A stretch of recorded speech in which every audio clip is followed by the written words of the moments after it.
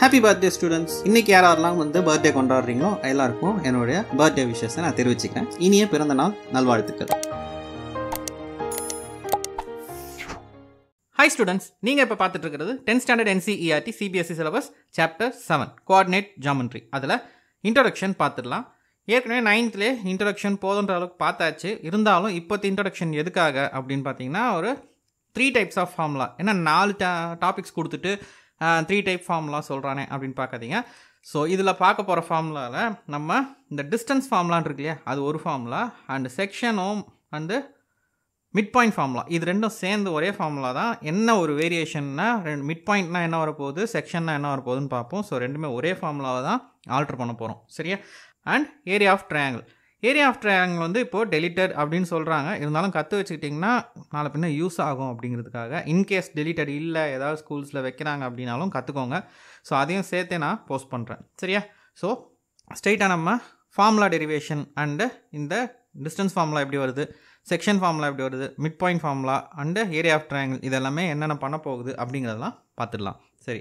இப்போ டிஸ்டன்ஸ் அப்படின்றது எதுக்காகலாம் எடுப்போம் அப்படின்னா சம் டைம்ஸ் வந்து என்ன சொல்லலாம் அப்படின்னா சில ரீசனிங் சம்ஸ்லாம் வரும். சரியா? இன்கேஸ் ஏதாவது காம்படேட்டிவ் எக்ஸாம்ஸ்லாம் அட்டன் பண்ண போகிறீங்க அப்படின்போது ரீசனிங் எக்ஸாம்ஸ்லாம் வந்து சம் டிஸ்டன்ஸை கண்டுபிடிக்கிறது அந்த மாதிரி விஷயம்லாம் வரும். சரியா? சரி. அந்த மாதிரி நேரத்தில் எப்படி இருக்கும் அப்படின்னா சம் பர்சன் வந்து ஒரு அவருடைய வீட்டில் இருந்து சரியா? இங்கேருந்து கிளம்புறாரு. கிளம்பிட்டு அவருடைய லெஃப்ட் ஹேண்ட் சைடு ஸோ இந்த நார்த் சைட்லேருந்து இப்படி வரும்போது அவருக்கு லெஃப்ட் ஹேண்ட் சைடு அப்படின்னு பார்க்கும்போது என்னவாக இருந்திருக்கும்? இந்த சைடாக இருந்திருக்கும். ஸோ எந்த பக்கம் பார்த்து வராரு? இந்த பக்கம் பார்த்து வரும்போது இந்த side left hand side left hand side திரும்பிட்டு அங்கேருந்து திரும்பவும் என்ன பண்ணுறாரு இப்போ வந்து ஈஸ்ட் சைடு திரும்பியிருக்கார். நார்த்லேருந்து ஸ்டார்ட் பண்ணார். ஈஸ்ட் சைடு இல்லைன்னா லெஃப்ட் ஹேண்ட் சைடு ஏதாவது ஒன்று தரலாம். சரியா? அங்கேருந்து திரும்பவும் இங்கே ஏதோ ஒரு இடத்துக்கு போகிறாரு தென் அங்கேருந்து ஸ்ட்ரெயிட்டாக இன்னொரு இடத்துக்கு கிளம்பி போகிறாரு இந்த மாதிரி இருக்குன்னு வச்சுக்கோங்களேன். ஸோ இன்கேஸ் அவர் வந்து அவர் வீட்டில் இருந்து கிளம்பி அவங்க ஃப்ரெண்டு ஹோம் போகிறதுக்காக சரியா? இங்கே போய் வந்திருக்காரு. இங்கே வந்துட்டு இங்கேருந்து என்ன பண்ணியிருக்காங்க ரெண்டு பேரும் டீ ஷாப்பில் மீட் பண்ணி அதாவது டீ ஷாப்பில் டீ குடிச்சிட்டு தென் இங்கே வந்து ஆஃபீஸ் கிளம்பி வந்திருக்காங்க அப்படின்ற மாதிரி எடுத்திருக்காங்கன்னு வச்சுக்கோங்களேன். இப்போ அவருக்கும் அவர் வீட்டுக்கும் அவங்க ஆஃபீஸ்க்கும் என்ன டிஸ்டன்ஸ் அப்படின்னு கேட்டால் நம்ம என்ன பண்ணியிருப்போம் அப்படின்னா டக்குன்னு என்ன யோசிக்க தோணும்? இவ்வளோ தூரம் வந்திருக்காங்க இந்த இடம்லாம் வந்துட்டு இங்கே வந்தது அப்படின்னு. ஆனால் ஆஃபீஸ்க்கும் வீடுக்கும் அப்படின்றது பார்க்கும்போது இந்த டிஸ்டன்ஸை தான் நம்ம எடுத்துக்கணும். ஏன்னா ஆஃபீஸும் டிஸ்டன்ஸ் ஆஃபீஸ்க்கும் ஹவுஸ்க்கும் தான் டிஸ்டன்ஸ் கேட்டிருக்காங்க. அங்கே வழி இருக்கா என்ன ஏது எந்த பக்கம் போகிறாங்க அப்படிங்கிறதெல்லாம் சொல்லலாம் அவர் போன இடம் இந்த மாதிரி எடுத்து இந்த பக்கம் திரும்பி போயிருக்காருன்னு ஃபஸ்ட் கதை சொல்லிட்டாங்களே தவிர இந்த மாதிரி கொடுத்துருப்பாங்க.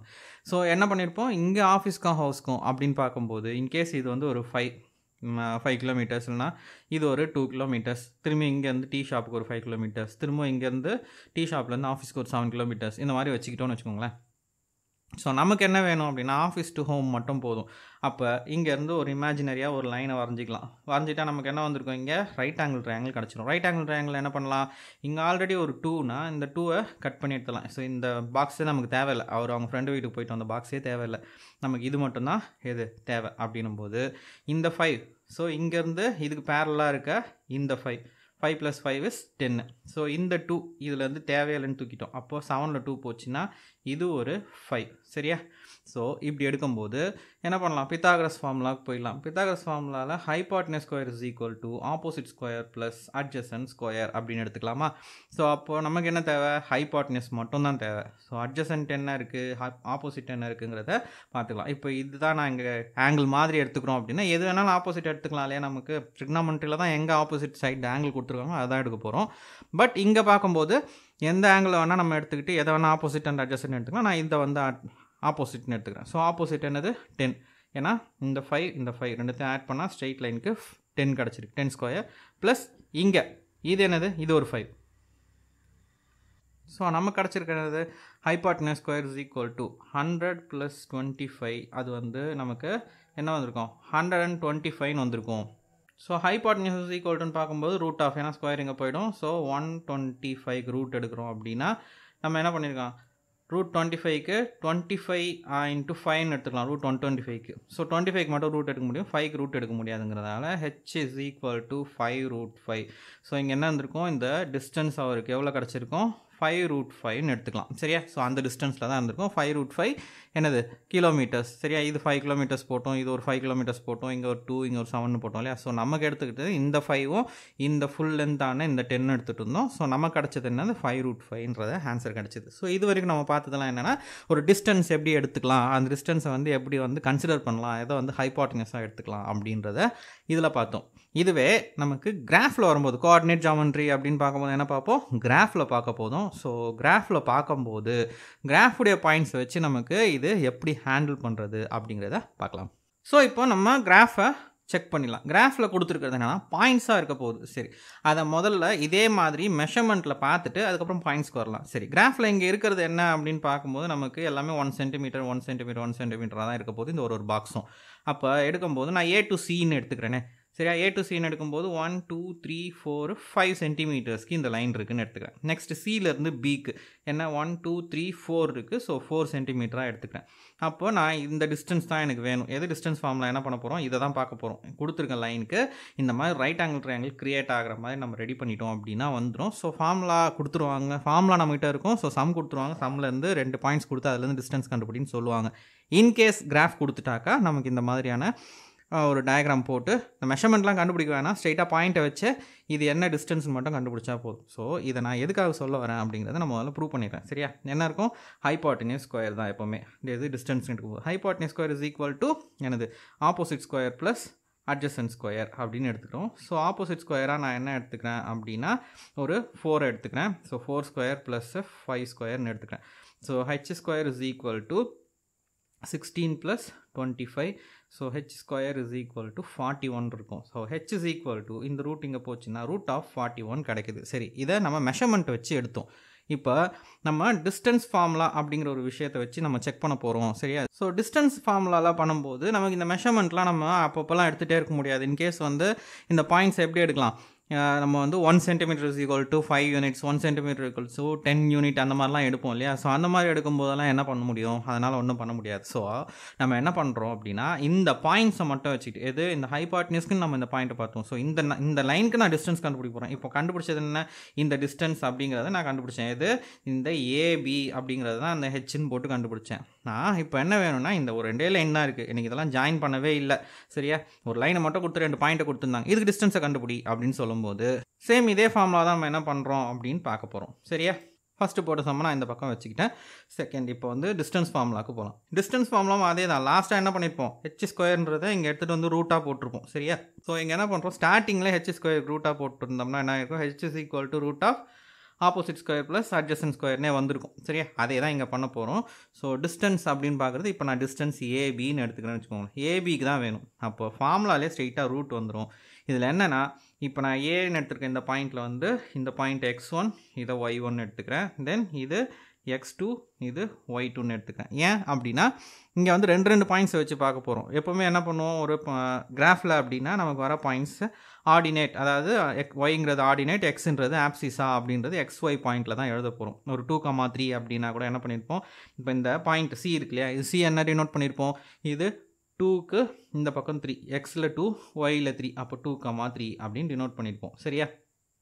ஸோ இப்போ நம்ம கேட்குறது என்ன அப்படின்னு பார்க்கும்போது ரெண்டு பாயிண்ட் வச்சுருக்காங்க. ஸோ ரெண்டு வச்சு செக் பண்ணும்போது எக்ஸ் அண்டு ஒய்யை வந்து என்ன பண்ண போகிறோம் இங்கே இருக்கிற பாயிண்ட்ஸை ஒன்று ஆப்போசிட் ஒன்று அட்ஜஸ்ட் போல அந்த மாதிரி எக்ஸ் அண்டு ஒய்யாக பிரிச்சுக்கணும். எக்ஸில் எக்ஸ் ஒன் எக்ஸ் டூ இருக்குது அப்போ X two minus X one சரியா? X two minus X one the whole square அதாவது opposite whole square opposite square and adjacent square மாதிரி Y two minus Y one the whole square அப்படின்னு எடுத்துக்கிறோம். எதை? இதை. புரிஞ்சிச்சா? இப்போ இதை தான் என்னது? இங்கே ஸ்கொயர் வந்திருக்கும். எது ஏபிங்கிறதுக்கு இந்த ஸ்கொயர் எங்கே எடுத்துகிட்டு வந்தால் ரூட் ஆகிருக்கும் இதோட முடிஞ்சுது. நெக்ஸ்ட்டு ஃபார்முலாலே ரூட் கொடுத்ததுனால நம்ம என்ன பண்ண போகிறோம் ஃபார்முலாவில் ரூட் அப்படியே எடுத்துகிட்டு வர போகிறோம் ஸோ எக்ஸ் எக்ஸ் டூ அப்படிங்கிறது என்னது? இங்கே minus two so minus two இங்கே எக்ஸ் ஒன்னுங்கிறது ப்ளஸ் டூ ஸோ ப்ளஸ் டூங்கிறது தான் இங்கே மைனஸ் இருக்குது ஃபார்முலாலேன்றதுனால minus two X two X one ஓகேவா சரி. ஒய் ஒய் டூ என்னது இங்கே நமக்கு த்ரீ அண்டு ஒய் ஒன் வந்து மைனஸ் டூ ஸோ இங்கே ஃபார்முலாலே மைனஸ் இருக்கிறதுனால மைனஸ் ஆஃப் மைனஸ்னு போடும்போது ப்ளஸ் டூ சரியா? ஃபார்முலாவில் மைனஸ் இருக்கிறதுனால என்ன வேல்யூ இருக்கோ அதோடைய சைனை மாற்றி போட்டுக்கோங்க. சரியா? இன்கேஸ் இங்கே மைனஸ் இருந்தால் இங்கே ப்ளஸ்ஸாக மாறிடும். ஏன்னா மைனஸ் ஆஃப் மைனஸ் இல்லையா? அதனால். ஸோ இங்கே எடுக்கும்போது இந்த ஃபார்முலாவில் இது என்னது? Minus four whole square plus three plus two is five the whole square so minus ரூட்டில் அதாவது ஸ்கொயரில் வந்தாலும் என்ன பண்ணும்? ப்ளஸ் ப்ளஸ்ஸாக தான் ஆகும் minus into minus plus four into four sixteen அப்படின்னு ஆயிருக்கும். So five square is twenty five so இதே மாதிரி வருதா? ஸோ இங்கே என்ன இருக்குது ரூட் ஃபார்ட்டி ஒன் கிடச்சிருக்கு. எதுக்கு? இந்த ஏபிங்கிற இந்த லைனுக்கு ஸோ டிஸ்டன்ஸ்னால் என்னென்னா இந்த மெஷர்மெண்ட் எவ்வளோ இருக்குன்னு தான் செக் பண்ண போகிறோம் பாயிண்ட்லலாம் நமக்கு தேவையே இல்லை. சரியா? டிஸ்டன்ஸுங்கிறது ஏபிங்கிறது என்ன கிடச்சிது? நான் இந்த பாயிண்ட்ஸை வச்சு செக் பண்ணும்போது எனக்கு ரூட் ஆஃப் ஃபார்ட்டி ஒன் தான் கிடச்சிருக்கு. ஸோ இந்த மெத்தட் எதுக்காக? நமக்கு மெஷர்மெண்ட் கொடுத்துருந்தா. இந்த மெத்தட் எதுக்காக? மெஷர்மெண்ட் இல்லாமல் வெறும் பாயிண்ட்ஸ் மட்டும் கொடுத்துருந்தா. நம்ம இப்போ என்ன பண்ண போகிறோம் வெறும் பாயிண்ட்ஸில் தான் ஹேண்டில் பண்ண போகிறோம் ஸோ அதனால் நம்ம இந்த மெத்தட் எது? Distance ஃபார்முலாக்கு root of X two minus X one the whole square plus Y two minus Y one the whole square use பண்ண போகிறோம் so next section formula and mid point formula அது எப்படி work பண்ணுது? அப்படிங்கிறத பார்த்துடலாம். So distance formula நம்ம இப்போ finish பண்ணியாச்சு. ஸோ செக்ஷன் ஃபார்முலாக்கு வரலாம். செக்ஷன் ஃபார்முலா அப்படின்னு பார்க்கும்போது இந்த ஒரு லைன் இருக்குன்னு வச்சுக்கோங்களேன். இது ஏ டு சி இருக்குது இந்த லைன் இருக்குது இந்த லைனை வந்து ஏதோ ஒரு ரேஷியோவில் கட் பண்ணியிருக்காங்க ரேஷியோஸ் கொடுத்துருவாங்க சரியா? இந்த ஃபுல் லைனை வந்து ஏதோ ரேஷியோ வந்து நமக்கு கட் பண்ணியிருக்கு இந்த பாயிண்ட்ஸ் வர்றதுக்கு. அந்த ரேஷியோ கட் ஆகிற பாயிண்ட் எங்கே இருக்கும்? அப்படி இந்த லைனில் ஏதோ ஒரு பாயிண்டில் இப்போ இன்கேஸ் வந்து நான் வந்து ஒரு த்ரீ இஸ் டூ டூ ரேஷியோவில் வச்சுக்கிறேன்னு வைங்களேன். இந்த ரேஷியோ அப்படின்னு எடுத்துக்கிறோம். ஸோ இதில் ஃபார்முலா படி பார்க்கும்போது இது எம் அண்ட் என் ரேஷியோவில் எடுத்துக்கணும். சிலர் என்ன பண்ணுவாங்க? எம் ஒன் எம் டூ அப்படின்னு எடுத்துப்பாங்க சிலர். நான் என்ன பண்ணுறேன் அப்படின்னா உங்களுக்கு எம் அண்ட் என்னன்னு எடுத்துக்கிறேன். ஸோ ரெண்டுத்துக்கும் டிஃப்ரென்ஷியேட் ஏன்னா எல்லாத்துலேயும் எனக்கு எக்ஸ் ஒன் ஒய் ஒன் அதெல்லாம் வந்துட்டு இருக்க போகுதுன்றதுனால இங்கே எம் ஒன் எம் டூன்னு வந்துன்னா ஒரே ஒன்று டூன்னு வந்து குழப்பமாக இருக்கும். ஸோ அதனால் என்ன பண்ணலாம் நம்ம? Some point P of X comma Y எது? இந்த ரேஷியோவில் ஏதோ ஒரு பாயிண்ட்டை நம்ம கண்டுபிடிக்க இந்த பாயிண்ட்டோ இந்த பாயிண்ட்டோ இந்த பாயிண்ட் ஏதோ ஒரு பாயிண்ட்டை கண்டுபிடிக்க போகிறோம் அந்த பாயிண்ட் எந்த இடத்துல ரேஷியோ ஃபார்ம் ஆகுது அப்படிங்கிறத நம்ம பார்க்க போகிறோம் ஸோ ரேஷியோங்கிறது இங்கே நம்ம ஏன் இதை three point three two five two எடுத்துக்கிட்டேன் அப்படின்னா நம்ம இங்கே ஃபைவ் பாயிண்ட்ஸ் இருக்குது நான் இதை வச்சு எக்ஸ்பிளைன் பண்ணும்போது புரியுங்கிறதுனால நான் ரேண்டமாக three is two three plus two is five total ratio is five அப்படின்னு எடுத்துக்கிறதுக்காக எடுத்துக்கிட்டேன். ஸோ சம்மில் எப்படி வேணாலும் வரலாம். சரியா? இப்போது some point of some point ஏதோ கொடுக்க போகிறோம் அது எக்ஸ் கமா ஒய்ன்ற பாயிண்ட்டை கண்டுபிடிக்க போகிறோம் ஸோ அதுக்கான வேல்யூ எப்படி வரப்போகுது அப்படின்னா some M X two plus N X one whole thing is divided by M plus N comma இது ஃபுல்லாக எக்ஸ் பாயிண்ட் வராது. ஸோ இன்கேஸ் இங்கே வேல்யூ எதாவது கொடுத்துட்டு எக்ஸை கண்டுபிடிக்க சொல்லு ஒய்யை கண்டுபிடிக்க சொன்னால் எக்ஸுக்கு எக்ஸை ஈக்குவேட் பண்ணலாம். ஒய்க்கு ஒய்யுடைய பாயிண்ட்ஸ் அதாவது M Y two plus N Y one divided by M plus N அப்படிங்கிற இந்த மாதிரி ஃபார்முலாவில் நம்ம சப்ஸ்டியூட் பண்ணலாம். எம் என்னன்றது? என்னது? ரேஷியோஸ் பாயிண்ட்டுங்கிறது எதை நம்ம எக்ஸ் ஒன் ஒய் ஒன் வச்சுக்க போகிறோமோ இதை நான் எக்ஸ் ஒன் இதை ஒய் ஒன் வச்சுக்கிறேன். இதை எக்ஸ் டூ ஒய் டூன்னு வச்சுக்கிறேன்னா ஸோ நெக்ஸ்ட் என்ன பண்ணலாம்? நம்ம ஃபார்முலாவில் அப்படியே சப்ஸ்டியூட் பண்ண ஆரம்பிக்கலாம். இங்கே ஏதோ ஒரு பாயிண்ட் ஆஃப் எக்ஸ் கம்மா ஒய்யை நான் கண்டுபிடிக்கிறதுக்காக வச்சுருக்கோம்.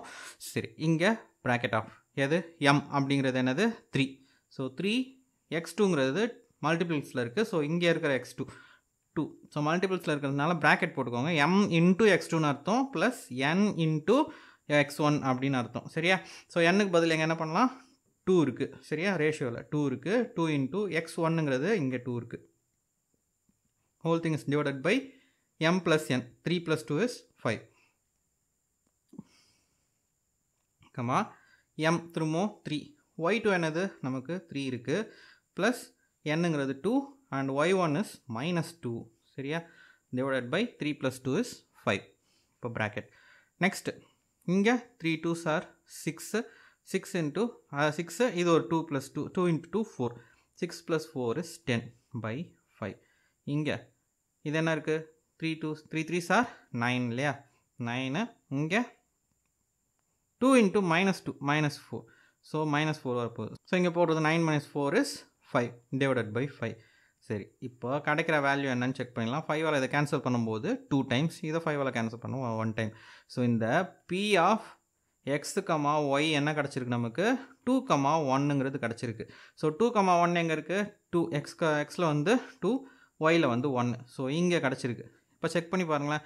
இந்த பாயிண்ட்லேருந்து ஒன் டூ டூ டிஸ்டன்ஸ் இங்கே இருக்குது ஒன் டூ த்ரீ டிஸ்டன்ஸ் இங்கே இருக்குது ஸோ இந்த டூ இஸ் டூ த்ரீயில் என்ன ரேஷியோவில் கட் ஆகிருக்கா இந்த பாயிண்ட் நம்ம கிடச்சிருக்கிறது என்னது? டூ கமா ஒன்று கிடச்சிருக்கு. So this is the point P சரியா? ஸோ இதுதான் என்னது? நமக்கு செக்ஷன் ஃபார்முலா அப்படின்னு பார்க்குறோம். சரி. இதுவே தான் மிட் பாயிண்ட் அப்படின்னு வரும்போது எப்படி இருக்குது அப்படிங்கிறத பார்த்துடலாம். மிட் பாயிண்ட்னால் என்ன நமக்கு? கரெக்டாக இப்போ வந்து ஸ்ட்ரெயிட் ஒரு லைன் இருக்குது ஒரு டென் சென்டிமீட்டர் இருக்குன்னா அதை வந்து மிட் பாயிண்ட்டாக இங்கே வந்து ஒரு பாயிண்ட் வைக்கிறோம் அப்படின்னா இது ஃபைவ் சென்டி ஃபைவ் சென்டிமீட்டர் அப்படின்னு வரும். அப்போ பாயிண்டில் இந்த ரேஷியோவாக இது இந்த பக்கம் இருக்கிறது இந்த பக்கத்துக்கு ரேஷியோ என்னன்னு பார்க்கும்போது one is to one ratio அப்படின்னு சொல்லுவோம் இல்லையா? அதனால் ஒன் இஸ் டு ஒன் ரேஷியோவில் இந்த இடத்துல எங்கே இருந்தாலும் எம் ப்ள எம் அண்ட் என் என்னவாக இருக்கும் ஒன்று ஒன்றுன்னு வரப்போகுது. இங்கே வரப்போகிறது ஒன் ஒன்றுன்னு வரும்போது one plus one is two சரியா? ஸோ அதனால் மிட் பாயிண்ட்டுக்கு டிவைடட் பை டூ வரும் அப்படிங்கிறத வச்சுக்கலாம். அண்ட் எம்ன்றதும் என்னன்றதும் ஒன்னாக தான் வரப்போகுது அப்படிங்கிறதுனால இங்கே one into X two one into X one இருக்குது ஸோ அதனால் ஃபார்முலாவில் என்ன பண்ணலாம்? X two plus X one இல்லை X one plus X two அந்த மாதிரி கூட வச்சுக்கலாம். ஸோ இங்கே செக்ஷன் ஃபார்முலா பார்த்தாச்சு. மிட் பாயிண்ட் மிட் பாயிண்ட் ஃபார்முலாவை பொறுத்த வரைக்கும் அதே P come P of X comma Y தான். இங்கே என்ன வரப்போகுது? எம்முங்கிற இடத்துல என்னங்கிற இடத்துல ஒன்று தான் வரப்போகுது. நடுவில் plus தாங்கிறதுனால X one plus X two divided by two comma Y one plus Y two divided by two so இதுதான் நமக்கான மிட் பாயிண்ட் ஃபார்முலா சரி. இது எப்படி ஒர்க் பண்ணுது அப்படிங்கிறது செக் பண்ணிடலாம். ஃபார் எக்ஸாம்பிள் நான் இந்த ப்ளூ லைன் எடுத்துக்கிறேன். பி அண்டு சி சரியா? இப்போ இது எக்ஸ் ஒன் இது ஒய் ஒன்னாக எடுத்துக்கிறேன். இது ஆல்ரெடி எக்ஸ் டூ ஒய் டூன்னு இருக்குது இப்போது பி ஆஃப் எக்ஸு கமா ஒய்னு எடுக்கிறேன்னு வச்சுக்கோங்களேன். மிட் பாயிண்ட் வேணும். இதில் மிட் பாயிண்ட் நான் கண்டுபிடிக்கணும் அப்படின்னா ரேஷியோ வந்து ஒன் இஸ்டு ஒன்னாக தான் இருக்கணும். மிட் பாயிண்ட்னாலே சரியா? மீதி இருக்கிற அந்த பாயிண்ட்ஸை மட்டும் அப்படியே சப்ஸ்டியூட் பண்ணலாம். இங்கே minus two plus two divided by two comma இங்கே ஒய் ஒன் வந்து three plus three divided by two இங்கே என்ன வந்திருக்கும்? ஜீரோ எங்கே? இங்கே. Zero by anything is zero இங்கே three plus three six six divided by two is three so check பண்ணி பாருங்கள் இங்கே ஒயில் த்ரீ இருக்குது எக்ஸு ஜீரோவாக இருக்குது ஸோ என்ன இந்த ஜீரோ கமா த்ரீ அப்படின்ற பாயிண்டில் தான் நமக்கு மிட் பாயிண்ட்டாக இருக்குது செக் பண்ணும்போது one two three four so mid point இங்கே இருக்குது ஸோ ஒன் டூ இந்த சைட்லேருந்து பார்க்கும்போது one two so two is to டூன்ற அதாவது டூ டூ மெஷர்மெண்ட்ஸ் இருக்குது சென்டிமீட்டர்ஸ் ஸோ இதை வந்து ரேஷியோவில் செக் பண்ணும்போது ஒன் இஸ் டு ஒன் இருந்திருக்கும். ஸோ புரியுதா? மிட் பாயிண்ட்னா என்ன பண்ண போகிறோம் அண்ட் செக்ஷன்னா என்ன பண்ண போகிறோம் ஏன் ரெண்டுமே ஒன்று தான் அப்படின்னு சொன்னன்றது இப்போ உங்களுக்கு புரிஞ்சிருக்கும். சரி நெக்ஸ்ட் ஏரியா ஆஃப் ட்ரையாங்கிள் இது ஃபார்முலா மட்டும் சொல்லிடுறேன். ஸோ இது வந்து ஃபார்முலா வந்து இந்த இதே ஒரு சம் எடுத்து இந்த சம் எடுத்தோம்னா இது ட்ரையாங்கிளை பார்க்கும்போது ட்ரையாங்கிள் ஏபிசி அப்போது இது எக்ஸ் ஒன் ஏல இருக்குது எக்ஸ் ஒன் ஒய் ஒன் பியில் இருக்கிறது எக்ஸ் டூ ஒய் டூ சியில் இருக்கிறது எக்ஸ் த்ரீ ஒய் த்ரீன்னு எடுத்துக்கிட்டு மூணு பாயிண்ட்டாக வச்சு போடுறத பற்றி பார்ப்போம். ஸோ இதோடைய ஃபார்முலா மட்டும் நான் சொல்லிடுறேன். சரியா? ஸோ ஏரியா ஆஃப் ட்ரையாங்கிளுடைய ஃபார்முலா எப்படின்னா ஏரியா ஆஃப் ட்ரையாங்கிளுக்கு நம்ம என்ன பண்ணியிருப்போம் இப்போது ஏரியா ஆஃப் ட்ரையாங்கிள் அப்படின்னு எடுக்கும்போது ஏரியா ஆஃப் ட்ரையாங்கிளுக்கு என்ன formula half into B into H தானே சொல்லியிருப்போம். இங்கே ஹாஃப் மட்டும் எடுத்துக்கிட்டு இதில் என்ன பண்ணுறாங்கன்னா பாயிண்ட்ஸாக எடுத்துக்கிறாங்க. இதை ஃபார்முலா ஞாபகம் வச்சுக்கிறது என்ன பண்ணுறேன் அப்படின்னா முதல்ல இந்த கிராஃபை கீழே தள்ளிடுறேன்.